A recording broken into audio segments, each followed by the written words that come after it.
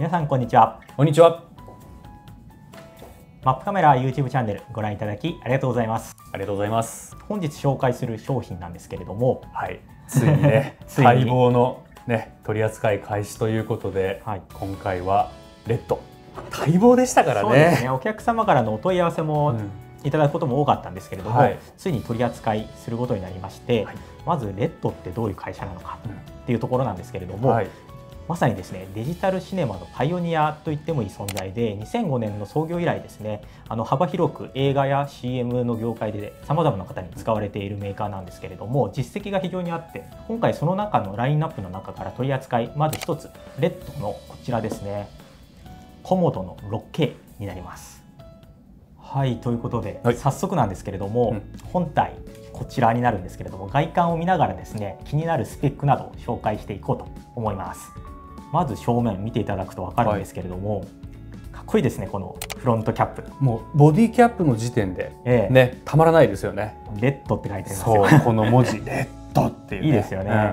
キャップ開いて中をお見せしたいと思うんですけれども、うんはい。センサーからねまず心臓部となるところを見ていきたいと思います。はい。じゃんじゃんセンサーサイズなんですけれどもこれがスーパー3号と言われるセンサーサイズにはい。なってます。でここのすごいところがですねグローバルシャッターを搭載してます。グローバルシャッターにするメリットってところで言うと、はい。やはり動き物捉えるときにですね歪みを少なく捉える、ここです事ね実上歪みが出ないうん。グローバルシャッターなのでっていうところもあるんですけれども、この大きさまあ実際にちょっと持っていただくと分かるんですけれども、はい。シネマカメラとしてはかなり小さくてで軽いですよね。なので手持ちで撮られる方って多いと思うんですけれども、そういった時にカメラがブレてしまってもですね歪まないローリングシャッターが出ないというところで動画撮影される方待望のセンサーグローバルシャッターが搭載されている。非常に魅力的ではないかなと思います。でこのセンサーに続いてなんですけれども、はい。採用しているマウントがですね、うん。キャノンの RF マウントを採用しています。RF っていうことはすなわちマウント？そうなんです。よアダプターを使うと？いろんなレンズもが使えるということですよね。可能性無限大になりますので、あの本当にですねキャノン使われている方はもちろんなんですけれどもこれまで違うマウント特にオールドレンズとかですね使っていた方は RF からオールドレンズのマウントアダプター使っていただくとそういうのも使えたりとか本当にさまざまな撮影に使いやすいカメラかなと思います。まあレンズのところは後でちょっと詳しくそうですね。見ていくとして、ちょっとその他の部分見ていきたいんですけれども、はい、はい、側面なんですけれども、どうでしょう？これやっぱり動画用っていうところでファンが耐熱用のね両面ついてるんですよね。両面ついてるんですよね。うん。右と左とっていうところはい、ですね。で、うんこの左側ですねちょっと見ていただくと分かるんですけれども、ここの部分、そう、うん。これがですね広くメディアになります。はい、広くメディア何を使ってるのかなっていうと、うん。ちょっと出してみましょうかこちらになります。C ファストカード。2.0ですね、でそのままはい、後ろ見ていただくとバッテリースロットが2機ですね、キャノンの BP9 シリーズですね。900番台ってやつですね。そうですね。はい、でこのまま回して右側ですね、はい。電源のオンオフボタンがありますよといったところで、はい、はい、じゃあこのまま電源を入れてみたいと思います。電源をはい、入れようという話だったんですが、その前に、はい。え忘れちゃいけないレンズをつけなきゃそうです。いったところで今回この RF の 1435mmF4L レンズとこちら RF の 7200mmF4L レンズ、うん。これを実際に装着してみたいと思います。はい、では。ではではカシャン。バッテリーも今もう装着されたような状態になっているんですけれども、はい。もうこれで撮影ができるセッティングになってます。最低限のセットですけれども、うんね。ミニマムというか、はい、無駄をそぎ落としたというかこれで撮れるんだっていう感じですよね。よね。まあもちろんオプションをつけた方がもっと撮りやすいっていうのはあると思うんですけど、うでも最低限これでもそう。いけるんだっていうね。そうなんですよ。で上面見ていただくと分かるんですけど、液晶がついているので、うん。ここでモニタリングもできると。いっうん。たところでちょっと中盤カメラみたいな形してないですか？確かにかっこいいですよね。ファインダーつけたくなりますね。こうやって覗いて上からなんて見たりとかねっていうところもありますけど、ええはい、では。はい。では早速ええ。電源を入れてみましょうか。皆さん立ち上げます。はい、どんな画面が出るんでしょうか。はい、起動。あああ、レッドの。あねトレードマークがねトレードマークが出ましたね。今ね表示されましたね。これ見るだけでもなんかご飯3杯ぐらい そうもう映像好きにはねたまらないですよね。でこう initializing って出てね、うん、この起動時間に少しね時間を有するところもそうですね。なんかねこうプロフェッショナルの道具っぽいなっていう感じしますよね。そうですね、うん、はい。今起動しましてですね、はい、もう見ていただくと。映像も映ってますね。わかるんですけれども、はい、もう大体の設定画面がここに表示されてます。うん上にですね実際に今捉えている映像と、はい、この A カメの赤いボタンが録画ボタンにはなってたりとかですね、ちなみにこちら、タッチパネル対応なのでプロジェクトの設定であったりとか、はい、モニタリング設定メディアの設定含めてですね全てタッチで動かすことができるので直感的な操作できるっていいですね。うん、で物理ボタンも効くんですよね。もちろん物理ボタンも動きますし、うん、この辺りですねシネマカメラってちょっと使いにくいイメージあると思うんですけれども、はい、最近のデジタルカメラみたいな形の UI で使いやすいですね。で、ねうん、でもねこれだけタッチメニューで、はい。直感的に操作できるっていうのは嬉しいですよね。そうですね、うん、単純に UI が分かりやすいっていうのはもうそれだけで歓迎したいなっていうことなので非常に嬉しいなっていう感じです。ですはい。上の液晶画面もちょっと見ていただいたんですけれども、はい、せっかく RF マウントということだったので、うん、マウントアダプターをつけてですねキヤノンの EF 1RF 時代のレンズもつけてみようかなと思うんですけれども、はい、ちょっとレンズ線はい、えじゃあ早速用意いたします。はい装着いたしました。今ですねキヤノンの2470の F2.8 の2型装着してるんですけれどもこういった感じになります。うん、でも先ほどお話ししたように電子接点がついているので、はい、まあ、絞りっていうのはもちろんなんですけれどもアダプター越しでもですねオートフォーカスが効きます。でこちらの RF もそのままオートフォーカスが効きますというところでこの辺り実際にちょっと試してみたいなと思うんですけれども、はい、では AF テストというしてみましょうか。はい。はい、今オートフォーカスを試してみてるんですけれどもご覧の通りタッチパネルでそのままオートフォーカスの位置を変更することができますまたフォーカスモードに関しましてもシングルコンティニュアス AF というのも使うことができますしオートフォーカスのポイントのサイズに関しても大中小ワイドなどですね様々選ぶことができますのでこういったところ非常に便利だなと思います。はいオートフォーカスのね挙動の方ご覧いただいたかと思うんですけれども、はい、そのオートフォーカスの、まあ、例えば挙動とか、うん、まあ、もしくはその他モニタリングをしたい時。ですね、うん、この液晶画面もいいんですけど、うん、何やらスマートフォンで見られるといったところ聞いておりますが、はい、ちょっと昨日ご紹介いただいてもよろしいですか、はい、はい、実際に使ってみてですね非常に使いやすかったので、うん、ちょっと皆さんにですね今お見せしようかなと思うんですけれども、はい、今ですねスマートフォンのアプリを入れまして、専用アプリになるんですけれどもこれと今カメラが接続している状態にもうつながってるんですか？はいもう一回設定すればですね、はい、すぐ起動してくれるので、えー、えで見ていただくと分かるんですけれども、はい、こちらが画面になります。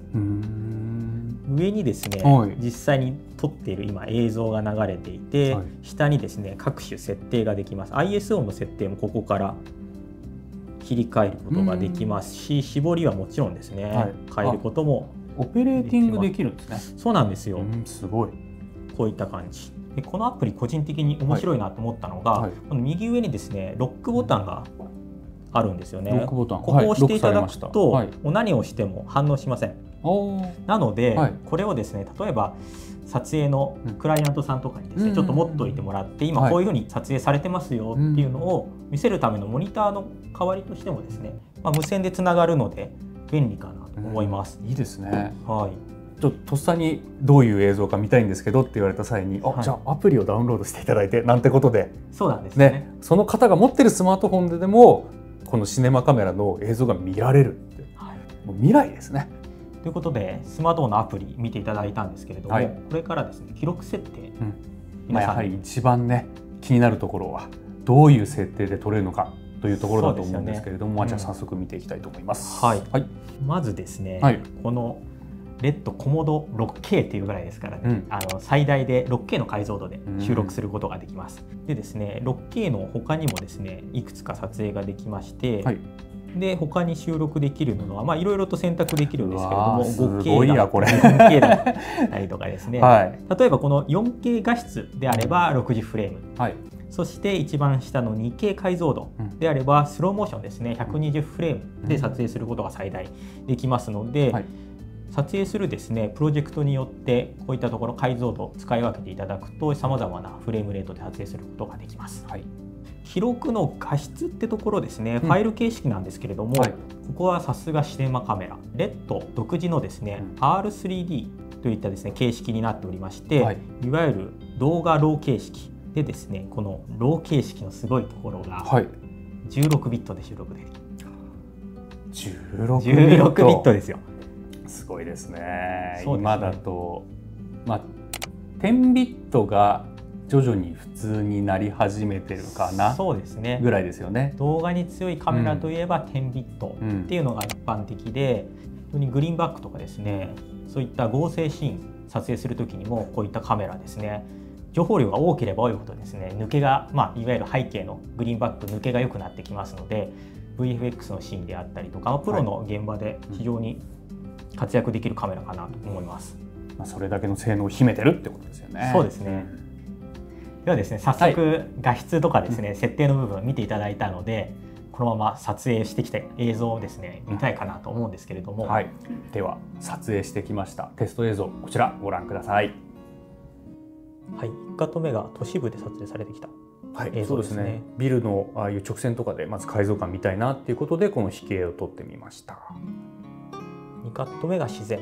ですね、うん、そうですね。やっぱり緑の木の葉の細かい描写とかもできてますし、まあ、あと空がねもうちょっとディティール出ればよかったなと思うんですけれども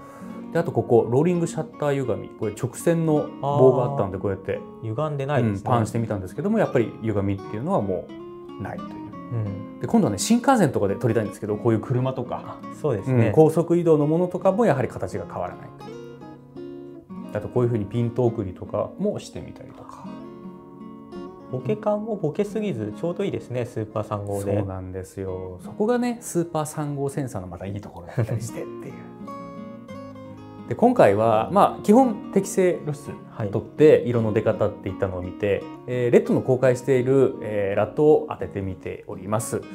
で少しテストの時にハイライト飛ばし気味のデータとかっていうのもいじってみたんですけれど、うん、まあ、やっぱりディティールがよく戻ってくるのでこのセンサーすごくハイライト側の粘りがあるんだなっていうところを実感しました。あとこういう花の発色とかもこういうふうにナチュラルに出てすごく綺麗ですよね。はい。ということで撮影してきていただいた映像見させていただいたんですけれども、はい、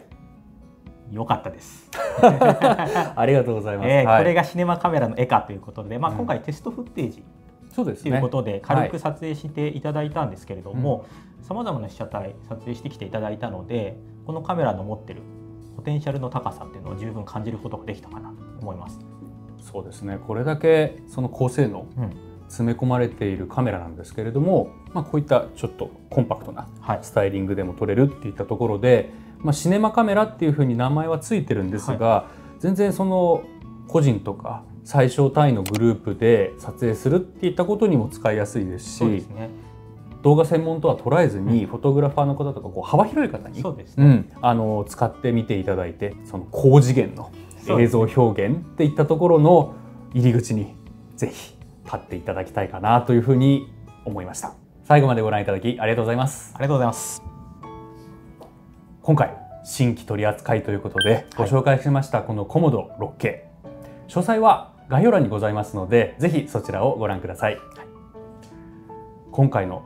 テストフッテージも見ていただきましたけれども、まあ、こういうテストしてほしいですとか今日見たところでこういうところ気になったよっていう方ございましたらぜひコメントや高評価でお知らせください。今回のようにですね新規取扱いアイテムのご紹介ですとか、えー、新製品レビューなどいろいろと動画公開しておりますので、ぜひチャンネル登録もお願いいたします。はい、マップカメラ LINE 公式アカウントでは皆様からのお友達登録お待ちしております。またですね、お友達登録していただいた際に ID 連携もしていただきますと、よりお得な情報が皆様のスマートフォンに、え飛んできますので、ぜひですね、お友達登録と ID 連携一緒にしていただければと思います。それでは最後までご覧いただきありがとうございました。ありがとうございました。